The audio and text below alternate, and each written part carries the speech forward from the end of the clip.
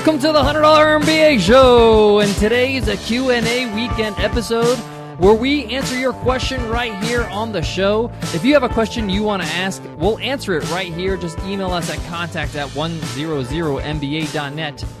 Or you can use our Speak It option where you record your question. We'll play right here on the show, on the air. And you can check that out at 100mba.net slash show.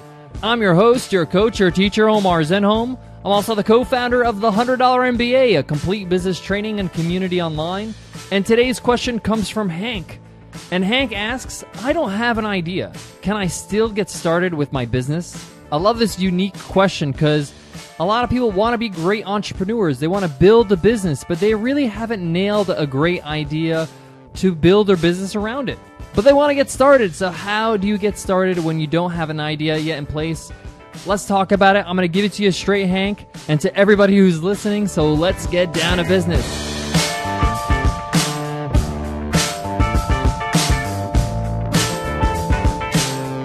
This episode of the $100 MBA show is brought to you by Nadex, Binary Options Trading. Our listeners appreciate just how far $100 can go, and so does Nadex. With just $100, you can get started. With Nadex Binary Options, you trade on whether you think the market will be above or below a certain point by a certain time. Go to nadex.com and open up a free account. That's Nadex, N A D E X.com. Futures, options, and swaps trading involves risk and may not be appropriate for all investors. There are two things you need to have a business on your hands. One is a product, something to sell, but the second is an audience. If you don't have people that are interested in what you do, in what you offer, and what you could do to change or help their life via a product or a service, then you have nobody to sell your product to. And this relates to Hank's question today, which is I don't have an idea yet. Can I get started with my business? And the answer is yes, you can get started. And I encourage you to get started right now because maybe you don't have a product yet, but you still can build an audience. And you need that audience because a product with no audience is useless because no one's actually looking at what you're selling. So there's actually two schools of thought when it comes to this idea of a product and an audience. Some people believe that you should build your product first, then build your audience. The other half believes you build the audience first, then the product. And then there's actually a third one. I know I said two, but there is a third one, which is to do both at the same time. Now, personally, I think that building your audience first really helps you build a better product. And that's kind of the method that has worked best for Nicole and I. So, how does this relate to your question, Hank? Well, you don't have a product yet. You don't have a idea that you want to implement which you can offer for a price tag, right? But that's okay. You don't have to sell anything to start a business. You can start by creating great content, by writing about the certain things that you think people are struggling with and how you can help them, by giving them great information. You may not have an exact product there or exact idea, but you should have a general market or a general audience you're trying to serve.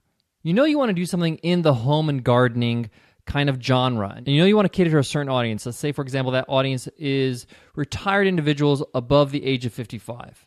So you have a general idea of what you're going to be talking about, a genre and a target audience, an age group, or a certain person you're talking to. That's going to get more and more narrow as you develop your message, as you start growing and discovering who you're really serving. But you can get started with a blog. You can start writing blog posts on those topics and seeing what resonates with your audience, seeing what works, seeing what people are struggling with, see what strikes people, what hits a nerve. And you're starting your content creation and content marketing that is so important in developing a strong business and brand awareness. You could do this also with video. You could do this with audio, with a podcast. You could do this with infographics. So it doesn't have to necessarily be a blog, but you can start creating content where you can present to an audience and hopefully you can get some feedback from them so you can find out what they're struggling with and then you can get your product ideas from there. This really works. There is a blog post that Nicole and I have gotten a lot of traffic on, and we're starting to think maybe we should create a small product that really digs deep and helps our audience with that area. We know that people are interested in it because it got a lot of traffic. There's a lot of comments on that blog post and it got shared a lot on social media. A lot of people think it's compelling enough to share. So we have some data, we have some proof that there is interest in this area. So if we developed a small product to test the waters to see if somebody would be interested in this, this is not something that we're building based on false information. We're building it based on solid information and feedback from our users and our readers. And you could do the same. You could do the same even if you don't have the idea. We didn't have this idea beforehand, but it came through how things resonate with our audience or how much things resonate from our audience. Plus, being a great entrepreneur is not only about one idea, it's about building a certain set of skills. And by getting started, by communicating your ideas, by writing, by blogging, by creating videos, you start building your body of work. You start becoming an entrepreneur. You start becoming who you need to be to be successful. So please do not delay that process. Get started as soon as possible, and the product ideas will develop in themselves and they should come from the audience. That way, you know for sure it's something that they'd be willing to pay money for. Guys, I have more when it comes to building a business before you even have a product idea. But before that, I got to give love to today's sponsor. I know many of you are struggling to find new customers. Trust me, I've been there. Most contact lists are outdated and don't have sales leads that are right for your business. But let me tell you about a service I found that makes selling easy.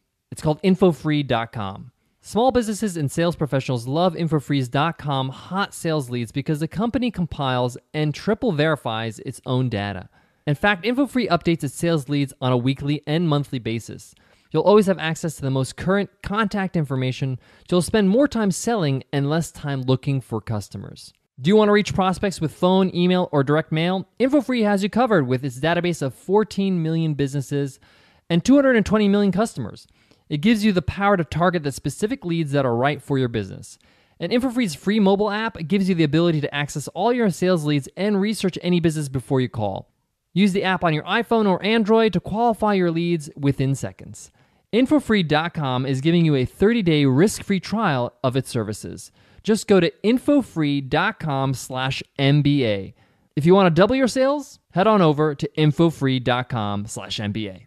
Part of every great entrepreneur's journey is that thrash, is that digging of figuring out what their idea is, what they're going to be doing, how they're going to serve their people, how they're going to serve their audience. So, starting that procedure of finding that out, of doing the digging, discovering who you're going to be as an entrepreneur is important. Get started.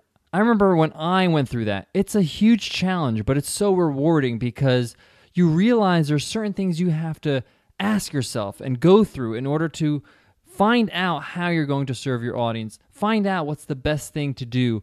What are some of the issues that you can solve for them? So, getting started with that by creating content for them and seeing what resonates with them is a great way to go through that discovery process. Hank, I really hope that helps and that my answer to your question has helped you as well as everybody that's listening to the $100 MBA show. Guys, again, if you have a question that you want answered on Q&A weekends, just email us at contact at 100mba.net or use our Speak It option where you can record your question and we'll play right here on the air. And you can find that at 100mba.net slash show. Guys, don't forget that we have a whole new podcast called Webinar Ninja How to Teach, Present, Sell, and Communicate Effectively with Your Audience Using Webinars. It's a fun podcast that we love doing. You could check it out on iTunes. Just search Webinar Ninja, subscribe, and hear some of our latest episodes. You'll learn how webinars can really help build your business and how you can do it today, right now. What are some of the strategies you can use? The $100 MBA goes on every single day, seven days a week. Webinar Ninja is just an addition to our production. We hope you love it. Guys, I want to leave you with this. I want to applaud all you guys that have sent in questions. It's really, really great to hear from you guys. I also want to applaud you because it takes some courage to ask for some help, to say, hey, I have a question. I need some help. Can you answer this question? You know, Hank had to go out of his way and ask a question. Ask, I don't have an idea right now. How can I get started? Can I get started with my business? And he's getting an answer and he's getting some help and he can move forward now. And I really think that's noteworthy. And I think that is it's a lesson in its own that when you need help, just ask for it. Because that's how you move forward. And I, want to let you guys know that Nicole and I are here to help you in any way we can. Send us a question. If you need some feedback, you need some help, we would love to help you out. And by helping you and sharing our answers on the show, we help other people as well. So thank you all for asking questions, and I encourage you all to keep on sending them in. You can also ask questions via Twitter. You can tweet at me at BizRepublic, B I Z Republic, and that way I can be connected with you on Twitter as well. All right, guys, I'll check you in tomorrow's episode, which is a guest teacher episode. You're going to love it. It's with a great entrepreneur and writer, Jeff Goins, and he's going to teach you how failure can lead to success. I can't wait for that. I'll see you then, guys. Take care.